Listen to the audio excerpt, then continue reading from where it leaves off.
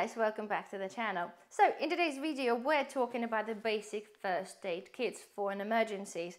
Some of you have suggested it's a good idea for me to make this video for you and share what I have in my first aid kit. So of course I took the opportunity and I'm making this video. First of all guys, it's very important to say that some of you suggested to make this video based on the fact that we want to have a budget and budget friendly first aid kit. And I had a Google and I had a look on Amazon on the emergency first aid kits that specific companies sell. And I'm saying about specific companies, they're the one that kind of specifically targeting the preparedness and survivalism type people and it made my eyes water. There's certain kits I've seen online, okay, they're ranging anything from like 60 pounds to 80 pounds and to 160 pounds. And if you actually have a closer look at what's included, then you actually realize that those kits have nothing of the value inside them.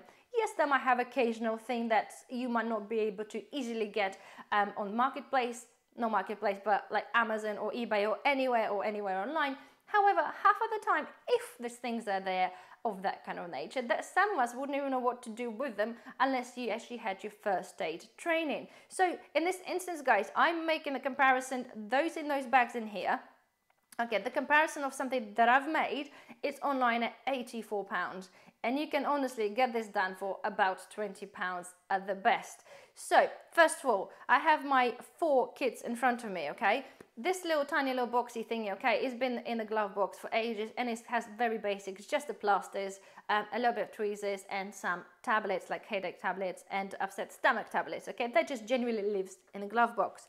And then I have my three um, kits here as well. So this one lives in my bag out bag, very fitting, as you can tell. I've got this one is lives in the car in a get home bag is my husband's car and I have this one which has been repackaged now in a red little case that I bought from Home Bargains it lives in my van of course I have a fully comprehensive first aid kit at home but for this purpose video guys we are concentrating on making your little kits that you either keep at home in your car or obviously in your bag out bag. So the point is point of the moral of the story is guys you don't even have to start from scratch. If you don't know where to start and how to start building your kit have a look in the home bargains okay? This little kit was there for 90 it basically was five pounds okay? And then i've made my own additions or my own things i wanted to be included. Things like this guys okay you can pick up on amazon depending on the size or shall i say the quantity of bandages okay? You're looking between 10 and 15 pounds. If you're lucky you have to keep an eye out. Sometimes deals comes out. And at the same time obviously i've made my own addition. So if you're really really unsure where to start those kits are absolutely brilliant. And then you can of course take them, you can repackage them into a different bag, different box, whatever you want. And it's absolutely brilliant way to start. Thereafter guys, after you purchase that, at least you've started somewhere. I've mentioned before, and if you follow the videos, you know guys, I've been going obviously the home bargains, Tesco's, uh, pound shops, whatever. And in my little shopping prep prepping shops, I've been picking up things like this, you know, little bandages, little things like that. And honestly, they cost like 49p, 59p, and some of them like 39p, some things a pound, but they're super, super cheap. And because of the multiple quantities, that could do you a couple of uh, first aid kits. Super cheap, super, super cheap, and really, really good. Things like this as well. Obviously, all of those dressings are of different sizes and they are basically, I would say, like a glorified plasters. However, this is what generally included in your first aid kit and you can pick them up pretty, pretty cheaply. Okay, thereafter, guys, um, you can then, after you made your basic or bought your basic, you can purchase slightly more comprehensive items in terms of the first aid or looking after the wounds and things like this. So, for example, I've got few, if you watch my video about the home uh, first aid kit, I have quite a few of those. They are silver impregnated pads so they basically help healing. Uh, they're not particularly the cheapest but they are there they're like a foil packed and they'll last you a long long time. Things like this as well there's a long bandage very long. It kind of could be used on a very long cut or very long um, sort of any kind of you know scratch if you wish but the whole thing you can cut those to size. So the point is guys you can start basic and then you can build it up if you wanted to and buy more different things that are available on the market. So without further ado guys, we'll be concentrating and look at what's inside my bag out bag emergency kit. So guys, this is that. So you can see here I have my little first aid bag. You might have seen guys a lot of those kits that are aimed at the preppers and survivalists are generally come in the bags like this. And believe this or not, I bought this bag from Temu and it's costed me £2.36. Yes, because it's black in color. If you wanted to buy this in camo, you can pick them up for about a tenner, but I didn't see the need. And guys, look at that, okay? So it's really compact. It's got everything you possibly want in a bag, okay? Just to give you an idea. So this is the back. Because one of my backpacks have the Velcro at the front, so you can Velcro that if you wanted to. So in the emergency, if you just need to grab it, and unpeel this from your bag and go and help somebody, then you can. So they will have that. And then you can obviously, got your straps there. So, all right, at the front, you've got your little first aid thing, which you can take away if you don't want to, do whatever you want. And then you have your little the pocket things here okay? Just exactly as they are but without costing me a fortune. Again don't have to have that but I found this fitting with my bag. So without further ado okay let's get that opened up. It's not particularly the tidiest but that's what we have. Okay so First of all, here phones up as a tourniquet, right? You can again pick them up um, on Amazon, you can pick them up on Temu.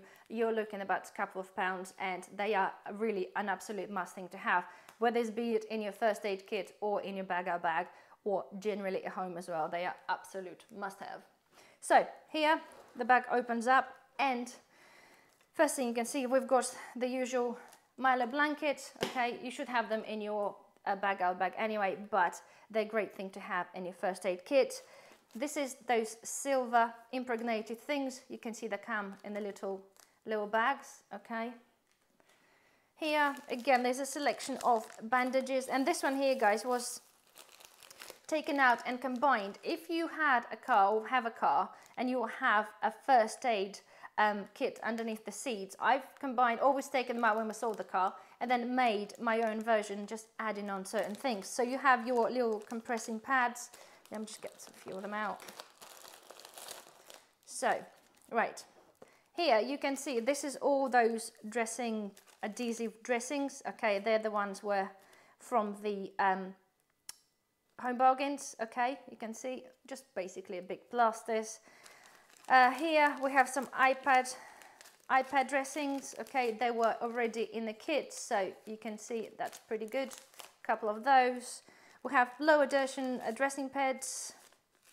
Got a few of those that come in a different sizes. And get a few of those in the pack. Okay, so that's some of this one of those. Um, here I've got a tweezers. I've decided to include my own super sharp okay the plastic ones they normally come with the first aid kits or some of them are generally a bit rubbish so I suggest to upgrade the thing so I upgraded to one of those um, obviously there are scissors in there as well guys for um, cutting your bandages when I've taken out sorry I haven't said I've got a bunch of those. Again, guys, there's the things you can pick up from, they'll come in the kits anyway, okay? They're just different size bandages, but you can pick those up for about 35, I think, or 39 pence in um, home bargains. So they again, something that always comes in the first aid kits. So there's a few of those in there, okay? Here, guys, I have some, which the kid didn't have, is some little cotton buds, and I just basically just bag them into a little bag, uh, here, the kit, one of the kids came with that is the eye solution. Okay, so eye wash. So if you get something in your eye, you can rinse this out. Right, oh, so underneath there, again, I have some other, oh, there's a burn dressing. Okay, so I've got one in the back and I have a couple of face masks only for the reason, guys, of anything but if there's something going on, if we are working on somebody's um, first aid, you just want to cover him up for whatever reason, they're there for that. Okay, so that's, move on to this one here. As a part of my tablets thing, guys, I've got some activated charcoal, which I'll cover in a different video, but this is good for many things, including cleansing the wounds and of course help up against poisoning. Right, on this side here, okay, I have a just a general um, antibacterial um, gel, okay? So on this side again, I've got, and I had this in a big roll, this is like a dressing um, kind of tape, but again, it could go straight on the wound, okay? They come in the big 10, uh, 10 meter or 5 meter rolls, which I've cut a little bit off and just folded it over. So this is handy for a larger, larger wounds if God forbid that happens. Um, triangle and bandage, this one is the same as you see on, um, on my video, but this is just a smaller one. It came in one of the packs as well. You go, there's a two of those, okay.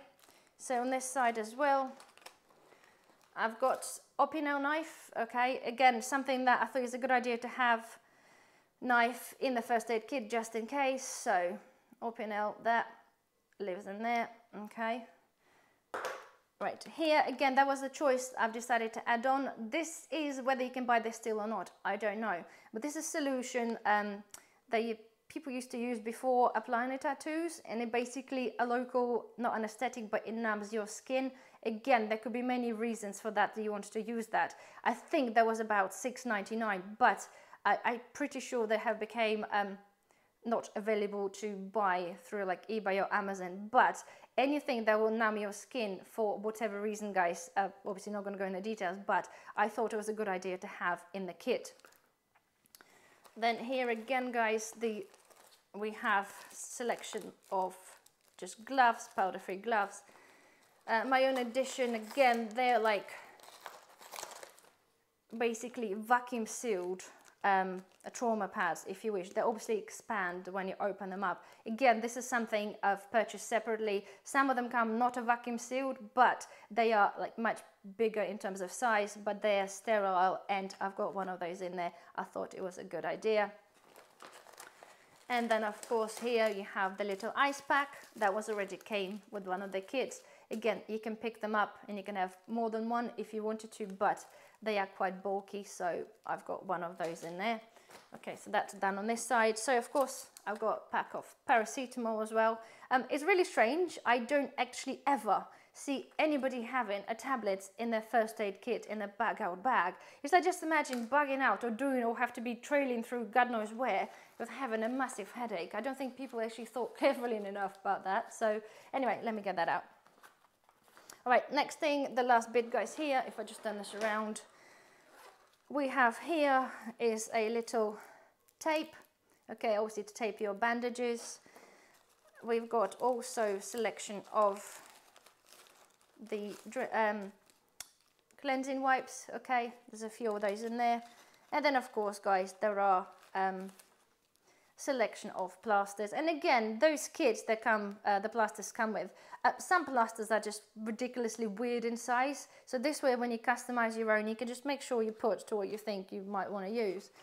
And of course guys we have here a little bit of the safety pins to hold those bandages together so yes guys this is as simple as that so as you can see guys okay just by adding on a couple extra things we kind of built up the first aid kit to kind of desired state. Of course, it's one of those things, guys. Preparedness is a journey. It is way of life. And I think especially with a first aid kit, it's always going to be things that be coming up or you might see on a deal that you will be able to add on to the kit. But this is absolutely fine, guys. So long as you have your basics there, you can just add on things as you see fit. For example, my next thing, which I really want to do, I really want to add on a sterile solution. And I do have one of the big ones in, I think it's a 500 milliliter bottles. However, I would like to have a decanter this into a smaller bottle and to be able to fit this in here. I totally appreciate being sterile in the bottle and then transferring this potentially might not make it that sterile after all. However, if we are guys in the wilderness or in the middle of nowhere and we need some you know first aid kit and we need some water, that water that's sterile water being decanted in a sterile or non-sterile container will be probably still the best thing you'll have to hand. So I wouldn't imagine that to be uh, any problem with this whatsoever. So this is my next thing on my list. And again, things again, guys, there are different things available for burns as well. Of course, it's all size permitting and it's very important, as you probably know, especially if you're building your kit for a bag out bag, is just to make sure that the stuff fits in a fairly compact bag or a box. So guys, that's that. I really hopefully you can find this helpful. Just to give you an idea, just the kit, the comparison of the kit, okay? So this kit here will cost you roughly 60 pounds based on what I've seen online for those people charge. And if you exclude the open Opinel knife and the um, tattoo cream, we're looking guys just under 20 pounds. Okay, again, you don't even have to buy this bag. You can just reuse bags like this or the bags or boxes like that that the basic kits come with. So to me, you get an idea, guys. We're needing to, especially nowadays, um, everybody's struggling financially. We want to be able to prepare, but we want to be able to do it kind of on the budget without spending a fortune, especially when it's unnecessarily inflated inflated prices. So there we are guys. Well, thank you very much for watching. Any suggestion of things maybe to add on to my kit, that'll be great as well. Please comment down below. Just bear in mind that it has to be kind of fairly tiny to fit in there. So anyway, thank you for watching. I shall see you in the next video. Bye bye.